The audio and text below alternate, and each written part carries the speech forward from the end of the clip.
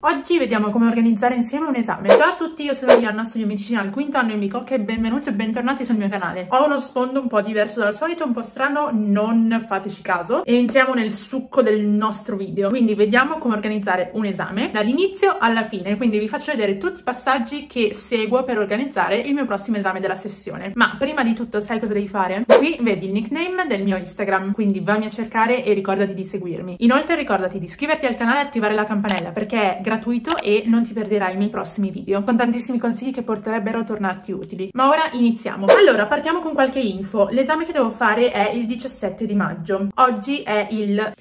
Oggi? Oggi è il 30 di aprile, quindi direi che ho comunque abbastanza tempo per studiarlo, però ho anche tanti impegni ultimamente, tra ripetizioni e tirocini, quindi ho bisogno di iniziare con un po' di anticipo. E in particolare devo fare l'esame che si chiama PMC2, Patologia Medico-Chirurgica 2. È un esame purtroppo che mi porto dietro dal terzo anno, perché non sono riuscita a incastrare le varie date negli ultimi anni, però è arrivato il momento di farlo decisamente, anche perché mi blocca il TPV che devo fare in Erasmus, che per chi non lo sapesse è il tirocinio pratico-valutativo che bisogna fare tra il quinto e il sesto anno per poter avere poi la laurea abilitante. Questo esame è un esame formato da quattro moduli, ovvero gastroenterologia, endocrinologia, chirurgia generale e eh, biochimica clinica 1 e sarà un esame orale con quattro orali, con i quattro diversi professori delle diverse materie. È un esame abbastanza consistente, se non sbaglio sbaglio 9 CFU. Quindi prima cosa che faccio è raccogliere il materiale. In particolare vado a stampare le sbobine oppure le raccolgo tutte in un file PDF se voglio studiare in modo digitale. E quindi in questo modo scelgo la mia fonte primaria. Come ho fatto a sceglierla? Sia per i consigli che mi hanno dato i ragazzi più avanti di me che l'hanno già fatto, sia perché ho potuto appurare che le sbobine sono state fatte bene, quindi vanno benissimo come prima fonte. Come fonte secondaria per gli approfondimenti oppure per quegli argomenti che non capisco, utilizzo il Rugarli, che è il classico libro di medicina medicina interna. Seconda cosa importantissima da fare è raccogliere le domande, ovvero le domande degli scorsi appelli. Questo perché mi serve? Punto primo, per avere un'idea delle cose più chieste, quindi delle cose che devo andare ad approfondire molto bene, soprattutto dal libro. E anche mi dà un'idea delle cose che non sono state spiegate, ma che vengono chieste e quindi devo fare in autonomia dal libro o comunque dalla fonte che scelgo. Successivamente vedo anche un po' a che punto sto, nel senso, magari non ho mai aperto la materia, quindi non mi cambia niente, inizio da capo, oppure avevo già iniziato a studiare, come nel mio caso. Infatti stavo provando a prepararlo per aprile, però non ho fatto in tempo. Però ho fatto in tempo a fare tutta gastro. E infatti ho recuperato tutti gli schemi in cui ho riordinato i vari concetti e li ho riordinati in base all'ordine delle sbobine e delle spiegazioni. Quindi gastro è tutta raccolta qui, tutta riordinata, tutti i concetti sono in ordine pronti da essere studiati. E ho già fatto anche le integrazioni con le cose che non sono state spiegate che però vengono chieste. Quindi mi rimangono da fare da zero endocrinologia, chirurgia generale e biochimica clinica. E in particolare di queste ho fatto una nota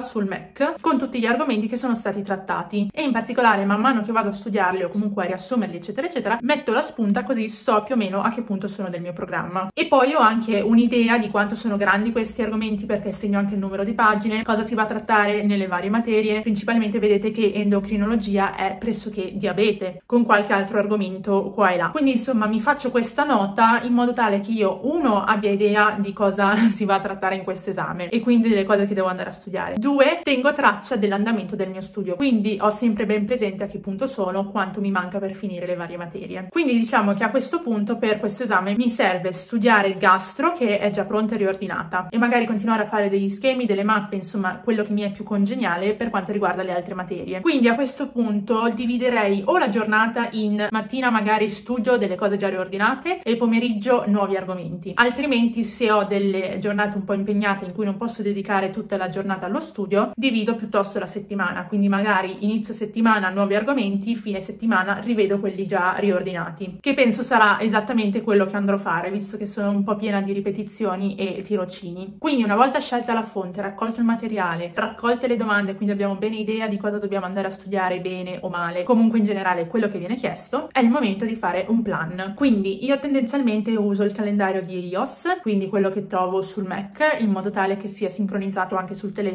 e io possa eh, guardarlo ovunque io sia e dove anche mi segno tutti i vari impegni, quindi so quali sono i buchi in cui posso inserire lo studio. In questo modo posso vedere anche quali sono quelle giornate un po' più libere che posso dedicare interamente allo studio oppure quelle in cui magari devo fare degli argomenti un po' più piccoli perché non ho poi così tanto tempo. Perché comunque da studentessa lavoratrice non posso permettermi di decidere di dedicare un'intera settimana allo studio. Devo riuscire a incastrare le varie cose. Quindi avendo ben idea delle mie giornate, dei miei impegni, posso decidere di dividere i i vari argomenti. Infatti io non vado a studiare per pagine giornaliere, o meglio, dalla mia nota ricavo la somma delle pagine che devo andare a studiare e bene o male le divido per i giorni che mi rimangono, così ho un'idea di quante pagine dovrei fare al giorno. Però più che sul numero preciso di pagine al giorno, mi baso sugli argomenti. Quindi, esempio, devo fare 20 pagine al giorno. Ho degli argomenti che possono andare dalle 15 pagine alle 10 pagine alle 20-30 pagine. Allora magari gli argomenti da 30 pagine li metto nelle giornate che sono completamente libera e so che comunque mi sono portata un po' avanti rispetto al programma di studio perché dovendone fare le 20 al giorno vuol dire che sono in anticipo più avanti. Oppure vado a combinare quegli argomenti che sono da 15 pagine e magari 5-7 pagine in un giorno oppure 10 pagine 10 pagine così divido per argomenti in modo tale che io sono sicura che quando inizio un argomento lo finisco e non lo lascio lì campato per aria solo perché ho finito le mie 20 pagine giornaliere e so anche che bene o male sto seguendo il mio programma di studio quindi sono in linea coi tempi non sono in ritardo e mi manca il giusto quantitativo di pagine rispetto ovviamente ai giorni che mi rimangono. E come vado a dividere gli argomenti? O meglio come vado a decidere quali giorni dedicare allo studio? Tendenzialmente per un esame orale mi lascio l'ultima settimana per